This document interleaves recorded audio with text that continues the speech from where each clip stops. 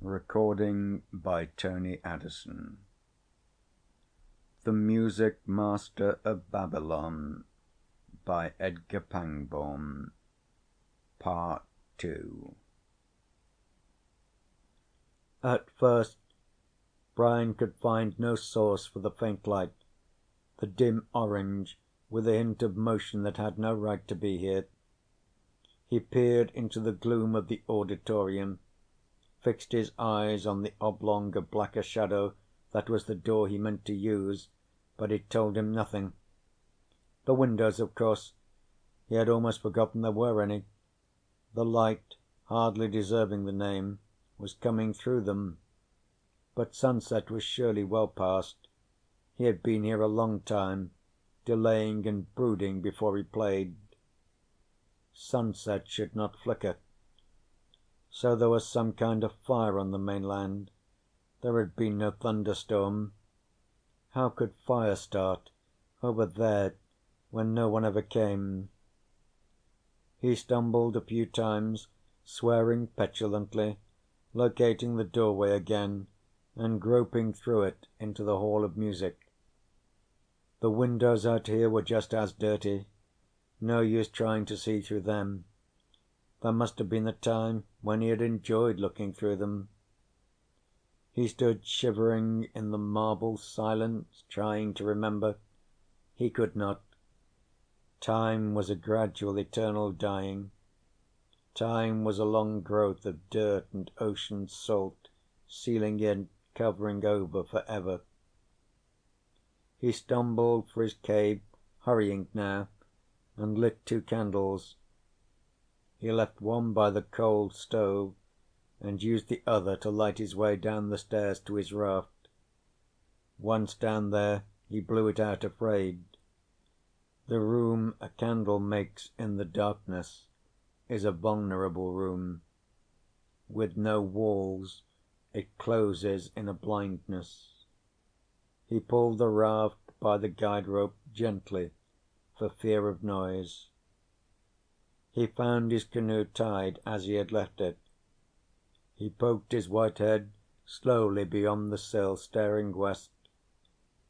Merely a bonfire gleaming, reddening the blackness of the cliff.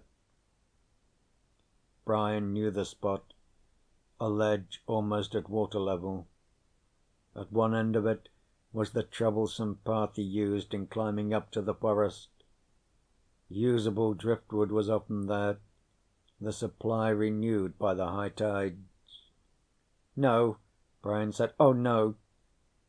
Unable to accept or believe, or not believe, he drew his head in, resting his forehead on the coldness of the sill, waiting for dizziness to pass, reason to return.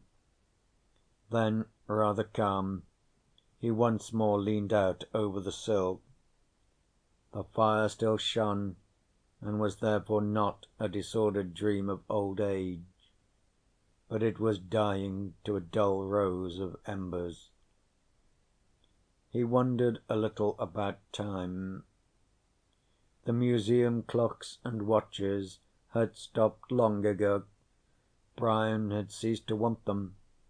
A sliver of moon was hanging over the water to the east. He ought to be able to remember the phases, deduce the approximate time from that. But his mind was too tired or distraught to give him the necessary data. Maybe it was somewhere around midnight. He climbed on the sill and, with grunting effort, lifted the canoe over it to the motionless water inside. Wasted energy, he decided, as soon as that struggle was over. That fire had been lit before daylight passed. Whoever lit it would have seen the canoe, might even have been watching Brian himself come home from his hunting. The canoe's disappearance in the night would only rouse further curiosity. But Brian was too exhausted to lift it back. Why assume that the maker of the bonfire was necessarily hostile? Might be good company. Might be. Brian pulled his raft through the darkness, secured it at the stairway, and groped back to his cave. He then locked the door. The venison was waiting, the sight and smell of it making him suddenly ravenous. He lit a small fire in the stove, one that he hoped would not be still sending smoke from the ventilator shaft when morning came. He cooked the meat crudely and wolfed it down, all enjoyment gone at the first mouthful. He was shocked then to discover the dirtiness of his white beard. He hadn't given himself a real bath in weeks? He searched for scissors and spent an absent minded while trimming the beard back to shortness. He ought to take some soap valuable stuff down to Moses's room and wash. Clothes, too. People probably still wore them. He had worn none for years, except for sandals and a clout and a carrying satchel for his trips to the mainland. He had enjoyed the freedom at first, and especially the discovery in his rugged fifties that he did not need clothes even for the soft winters, except perhaps a light covering when he slept. Then almost total nakedness had become so natural it required no thought at all. But the owner of that bonfire he checked his rifles. The .22 automatic, an Army model from the 2040s, was the best. The tiny bullets carried a paralytic poison. Graze a man's finger and he was painlessly dead in three minutes. Effective range, with telescopic sights, three kilometers. Weight, a scant five pounds. He sat a long time cuddling that triumph of military science, listening for sounds that did not come, wondering often about the unknowable passage of night toward day. Would it be two o'clock? He wished he could have seen the satellite, renamed in his mind the Midnight Star, but when he was down there at his port he had not once looked up at the night sky. Delicate and beautiful, bearing its everlasting freight of men who must have been dead now for twenty five years, and who would be dead a very long time. Well, it was better than a clock, Brian often thought, if you happened to look at the night sky at the right time of the month, when the man made star could catch the moonlight. But he had not seen it tonight. Three o'clock? At some time during the long dark he put the rifle away on the floor. With studied self conscious contempt for his own weakness, he strode out noisily into the Hall of Music with a fresh lit candle. This same bravado, he knew, might dissolve at the first alien noise. While it lasted, though, it was invigorating.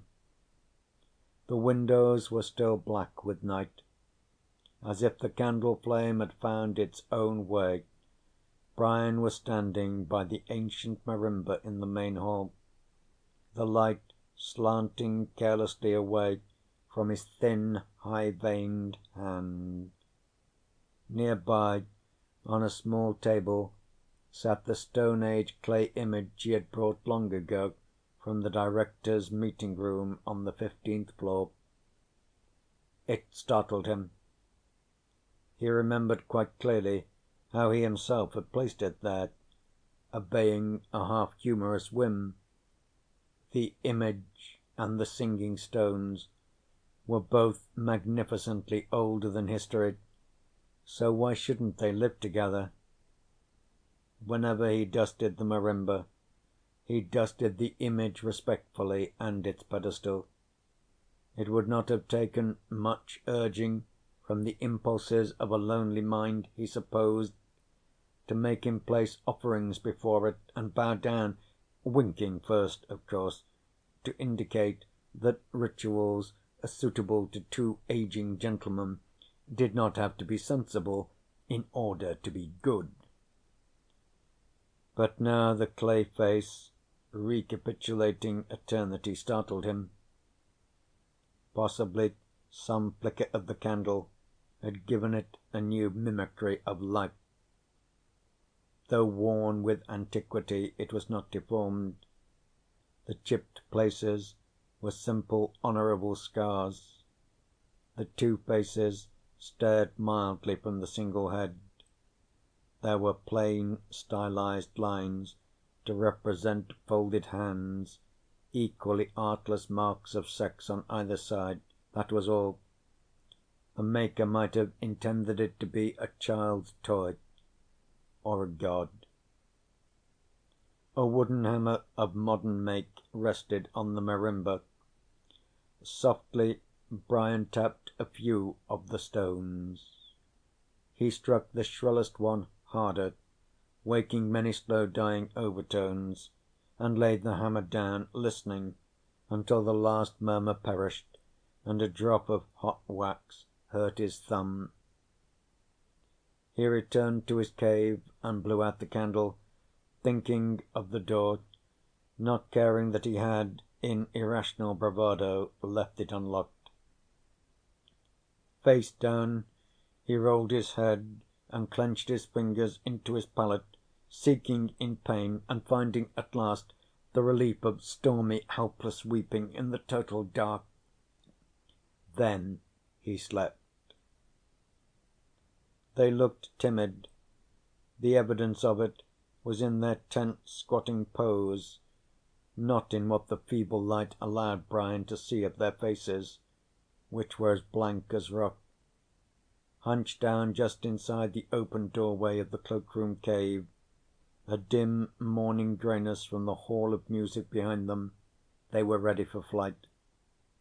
Brian's intelligence warned his body to stay motionless for readiness for flight could also be readiness for attack. He studied them, lowering his eyelids to a slit. On his pallet well inside the cave, he must be in deep shadow. They were aware of him, though, keenly aware. They were very young, perhaps sixteen or seventeen years old, firm muscled, the man slim but heavy in the shoulders, the girl a fully developed woman. They were dressed alike, loin cloths of some coarse, dull fabric, and moccasins that might be deer hide. Their hair grew nearly to the shoulders, and was cut off carelessly there, but they were evidently in the habit of combing it. They appeared to be clean. Their complexion, so far as Brian could guess it in the meager light, was the brown of a heavy tan. With no immediate awareness of emotion, he decided they were beautiful, and then, within his own poised, perilous silence, Brian reminded himself that the young are always beautiful. Softly, Brian saw no motion of her lips. The woman muttered, "He wake." A twitch of the man's hand was probably meant to warn her to be quiet. His other hand clutched the shaft of a javelin with a metal blade. Brian saw that the blade had once belonged to a bread knife. It was polished and shining, lashed to a peeled stick. The javelin trailed, ready for use at a flick of the young man's arm. Brian opened his eyes plainly. Deliberately he sighed. "Good morning." The youth said, "Good morning, sir." "Where do you come from?" "Millstone." The young man spoke automatically, but then his facial rigidity dissolved into amazement and some kind of distress. He glanced at his companion, who giggled uneasily. "The Old Man pretends to not know," she said, and smiled and seemed to be waiting for the young man's permission to go on speaking. He did not give it, but she continued, "Sir, the Old Ones of Millstone are dead."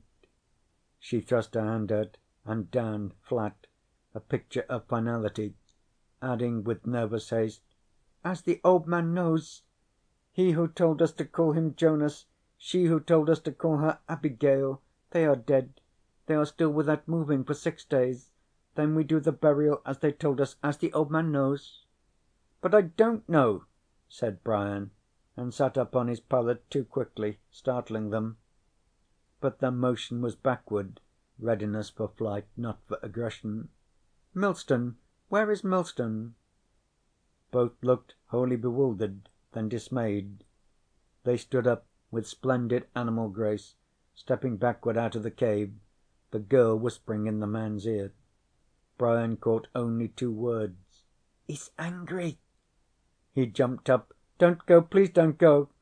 He followed them out of the cave, slowly now, aware that he might well be an object of terror in the half dark, aware of his gaunt, graceless age and dirty hacked off beard. Almost involuntarily he adopted something of the flat, stilted quality of their speech. "I will not hurt you. Do not go." They halted. The girl smiled dubiously. The man said: "We need Old Ones. They die. He who told us to call him Jonas said, many days in the boat. Not with the sun path, he said, across the sun path, he said, keeping land on the left hand. We need Old Ones to speak the to speak. The Old Man is angry?" "No, I am not angry. I am never angry." Brian's mind groped, certain of nothing. No one had come for twenty five years. Only twenty five? Millstone?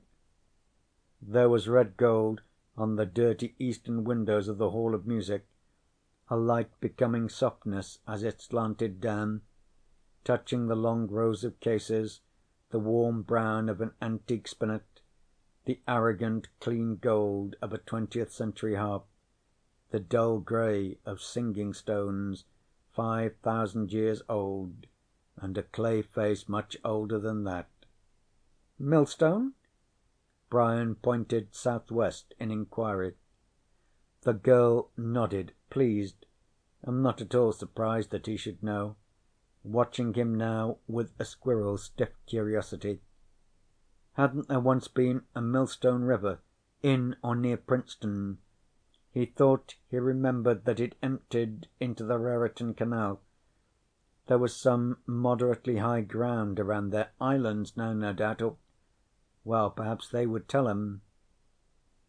"There were old people in Millstone," he said, trying for gentle dignity, "and they died. So now you need Old Ones to take their place." The girl nodded vigorously. A glance at the young man was full of shyness, possessiveness, maybe some amusement. "He who told us to call him Jonas said no marriage can be without the words of Abraham." "I uh, Br " Brian checked himself. If this was religion, it would not do to speak the name Abraham with a rising inflection, at least not until he knew what it stood for. I have been for a long time he checked himself again. A man, old, ugly, and strange enough to be sacred, should never stoop to explain anything. They were standing by the seven stone marimba. His hand dropped, his thumbnail clicking by accident against the deepest stone and waking a murmur. The children drew back alarmed. Brian smiled. Don't be afraid. He tapped the other stones lightly.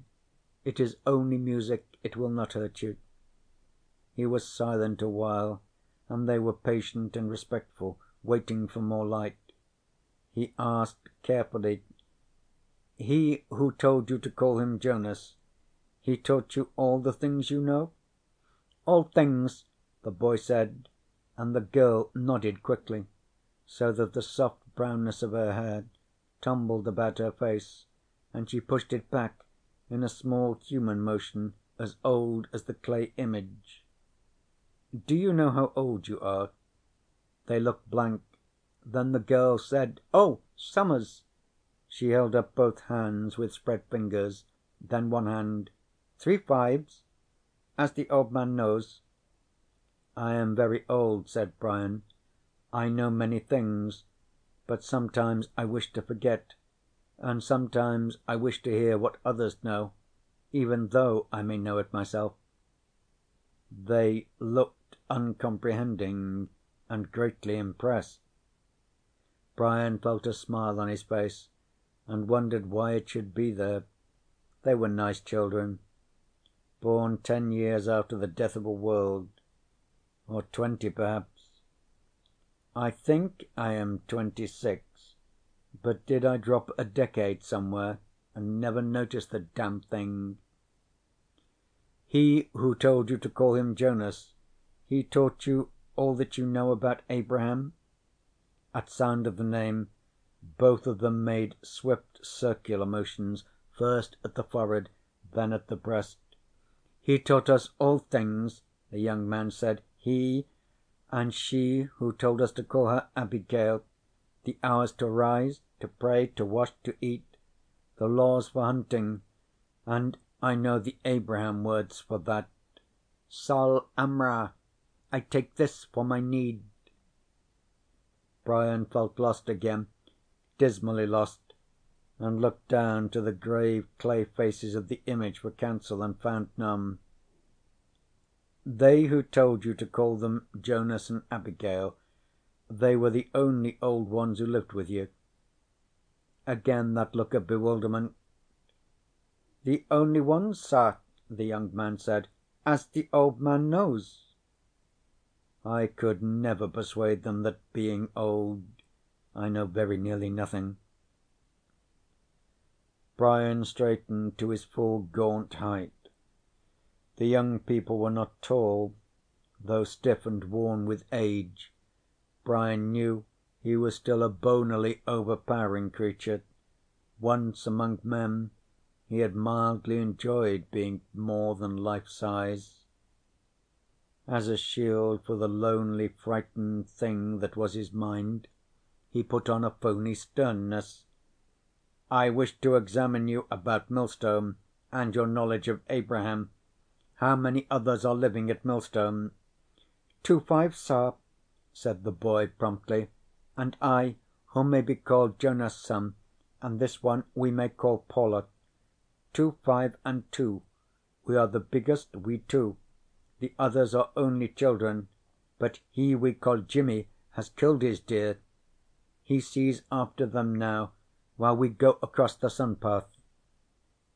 Under Brian's questioning more of the story came, haltingly, obscured by the young man's conviction that the Old Man already knew everything.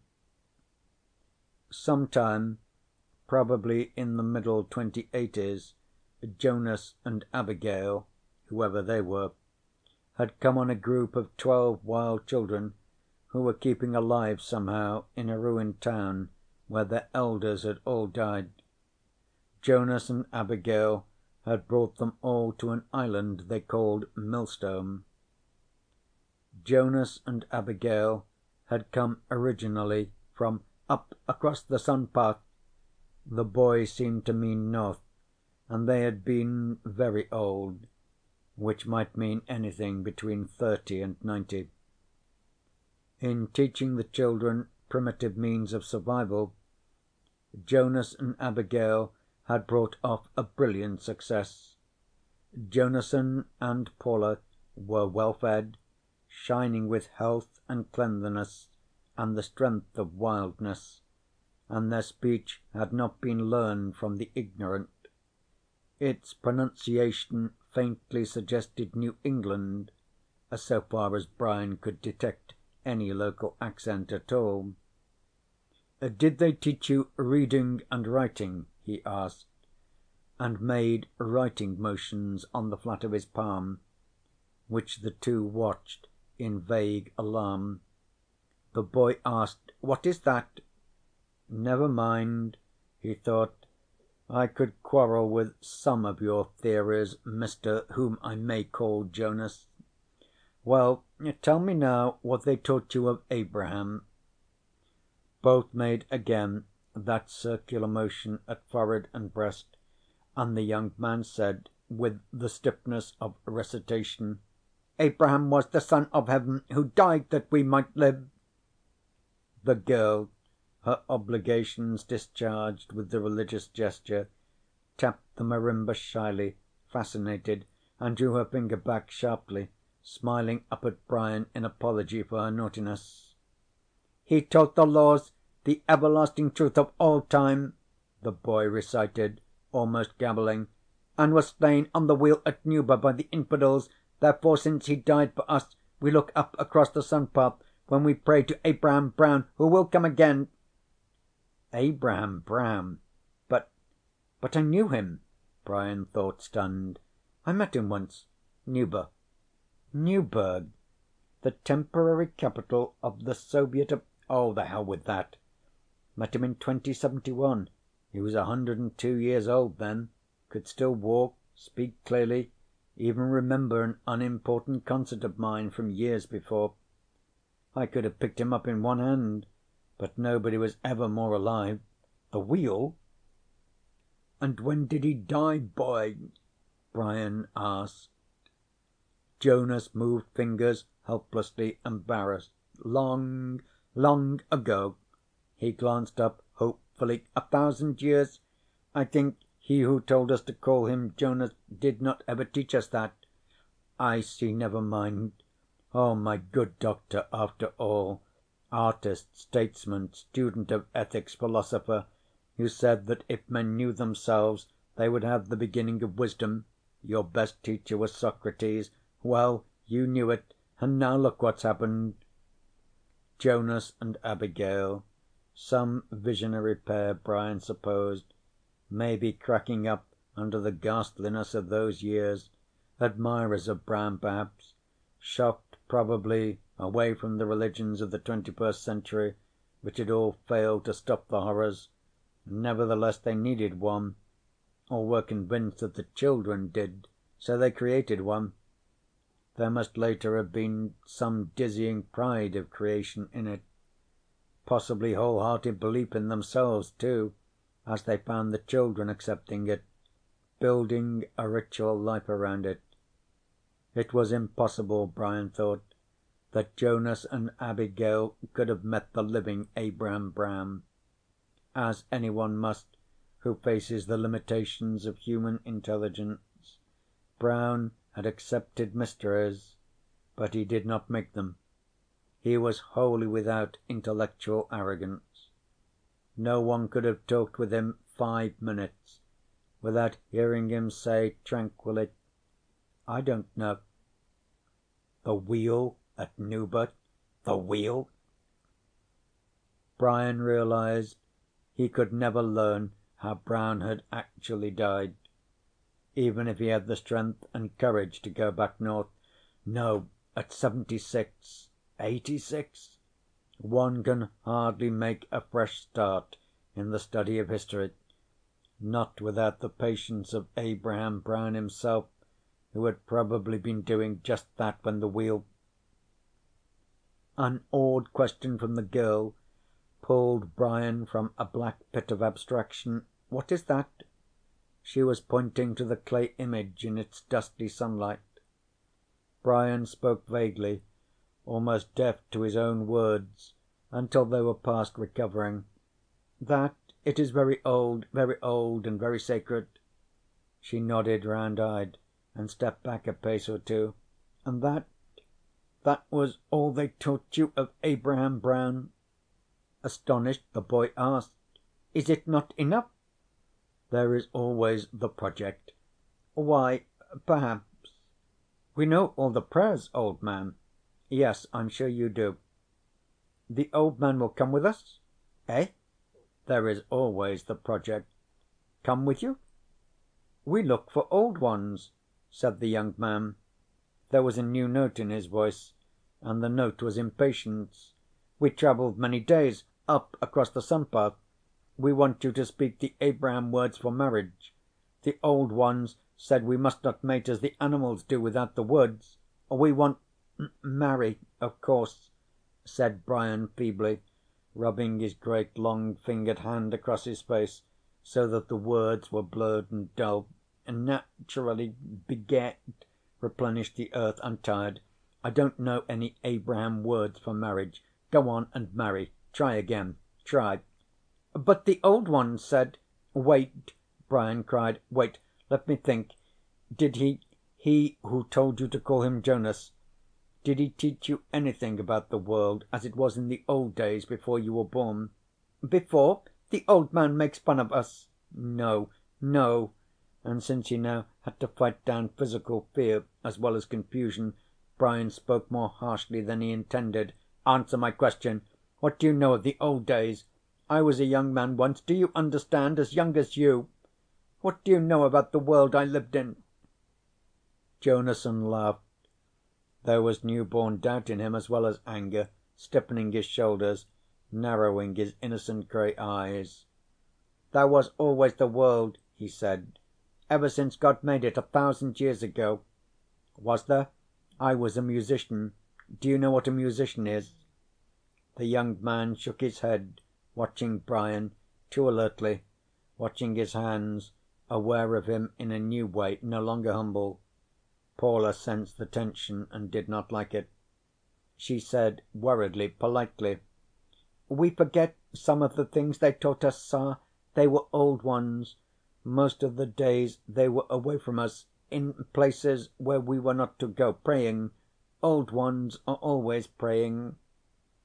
"I will hear this old man pray," said Jonason. The butt of the javelin rested against Jonason's foot, the blade swaying from side to side. A wrong word, any trifle, Brian knew, could make them decide in an instant that he was evil and not sacred. Their religion would certainly require a devil. He thought also: merely one of the many ways of dying. It would be swift, which is always a consideration. "Certainly you may hear me pray," said Brian abruptly. "Come this way." In a fluctuating despair, he knew that he must not become angry, as a climber stumbling at the edge of a cliff might order himself not to be careless. "Come this way. My prayers I'll show you. I'll show you what I did when I was a young man in a world you never knew." He stalked across the Hall of Music, not looking behind, but his back sensed every glint of light on that bread knife javelin. "Come this way!" he shouted. "Come in here!" He flung open the door of the auditorium and strode up on the platform. "Sit down over there and be quiet." They did, he thought. He could not look at them. He knew he was muttering, too, between his noisy outbursts as he snatched the cover off the Steinway and raised the lid, muttering bits and fragments from old times and from the new times. "They went that away. Oh, Mr. Van Anda, it just simply goes right through me. I can't express it. Madam, such was my intention. Or, as Brahms is supposed to have said on a slightly different subject, any ass knows that. Brio, rubato, and schmaltz went to see in a Jonason, Paula, this is a piano. It will not hurt you. Sit there. Be quiet. Listen." He found calm. "Now, if ever now when I have living proof that human nature, some sort of human nature, is continuing surely now, if ever the Project with the sudden authority that was natural to him, Andrew Carr took over. In the stupendous opening chords of the introduction, Brian very nearly forgot his audience. Not quite, though. The youngsters had sat down out there in the dusty region where none but ghosts had lingered for twenty five years or more. The piano's first sound brought them to their feet. Brian played through the first four bars, piling the chords like mountains, then held the last one with the pedal and waved his right hand at Jonason and Paula in a furious downward motion. He thought they understood. He thought he saw them sit down again, but he could pay them scant attention now, for the sonata was coming alive under his fingers, waking, growing, rejoicing. He did not forget the youngsters again. They were important, terrifying, too important at the fringe of awareness, but he could not look at them any more. He shut his eyes. He had never played like this in the flood of his prime, in the old days before great audiences that loved him. Never. His eyes were still closed, holding him secure in a secret world that was not all darkness, when he ended the first movement, paused very briefly, and moved on with complete assurance to explore the depth and height of the second. This was a true statement at last. This was Andrew Carr. He lived, even if, after this late morning, he might never live again. And now the third. The storm and the wrath, the interludes of calm, the anger, denials, affirmations. Was there anything he didn't know, this heir of three centuries who died in jail? Without hesitation, without any awareness of self, of age or pain or danger or loss, Brian was entering on the broad reaches of the last movement when he opened his eyes. The youngsters were gone. Well, he thought, it's too big. It frightened them away. He could visualize them, stealing out with backward looks of panic, incomprehensible thunder, but he could not think much about them now, not while Andrew Carr was with him. He played on with the same assurance, the same joyful sense of victory. Savages, let them go, with leave and goodwill. Some external sound was faintly troubling him, something that must have begun under cover of these rising pealing octave passages, storm waves, each higher than the last, until it seemed that even a superhuman swimmer must be exhausted. An undefinable alien noise, a kind of humming. Brian shook his head peevishly, shutting it away. It couldn't matter, at least not now. Everything was here, in the beautiful labors his hands still had to do. The waves were growing more quiet, settling, subsiding. And now he must play those curious arpeggios which he had never quite understood, but of course he understood them at last, ripped them out of the piano like showers of sparks, like distant lightnings moving farther off across a world that could never be at rest. The final theme why, it was a variation, and how was it that he had never realized it? a variation on a theme of Brahms from the German Requiem. Quite plain, quite simple, and Brahms would have approved. Still, it was rather strange, Brian thought, that he had never made the identification before, in spite of all his study. Well, he knew it now. Blessed are the dead. Yes, Brian thought, but something more remained, and he searched for it proudly certain of discovering it through the mighty unfolding of the finale. No hurrying, no crashing impatience any more, but a moving through time with no fear of time, through radiance and darkness with no fear of either. Andrew Carr was happy, the light of the sun on his shoulders. That they may rest from their labors, and their works do follow after them Brian stood up, swaying and out of breath. So the music was over, and the young savages were gone, and somewhere a jangling, humming confusion was filling the Hall of Music, distant, but entering with violence even here, now that the piano was silent. Brian moved stiffly out of the auditorium, more or less knowing what he would find. The noise was immense the unchecked overtones of the marimba fuming and quivering as the high ceiling of the Hall of Music caught and twisted them, flung them back against the answering strings of harps and pianos and violins, the sulky membranes of drums, the nervous brass of cymbals. The girl was playing it, really playing it. Brian laughed once softly in the shadows and was not heard. She had hit on a most primeval rhythm, natural for children or savages, and needed nothing else, hammering it out swiftly on one stone and then the next, wanting no rest or variation. The boy was dancing, slapping his feet, pounding his chest, thrusting out his javelin in perfect time to the clamour, edging up to his companion, grimacing, drawing back to return. Neither was laughing, or close to laughter. Their faces were savage solemn, downright grim with the excitement, the innocent lust, as spontaneous as the drumming of partridges.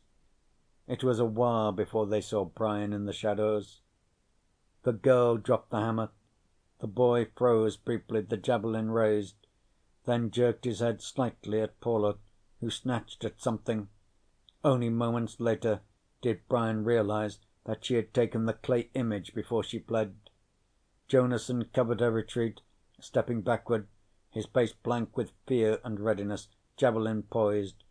So swiftly, so easily, by grace of a few wrong words and Steinway's best, had a sacred Old One become a bad Old One, an evil spirit. They were gone down the stairway, leaving the echo of Brian's voice crying: "Don't go! Please don't go! I beg you!" Brian followed them unwillingly. It was a measure of his unwillingness that moments passed before he was at the bottom of the stairway, looking across the shut in water to his raft, which they had used and left at the windowsill port. Brian had never been a good swimmer. He was too dizzy now and short of breath to attempt to reach it.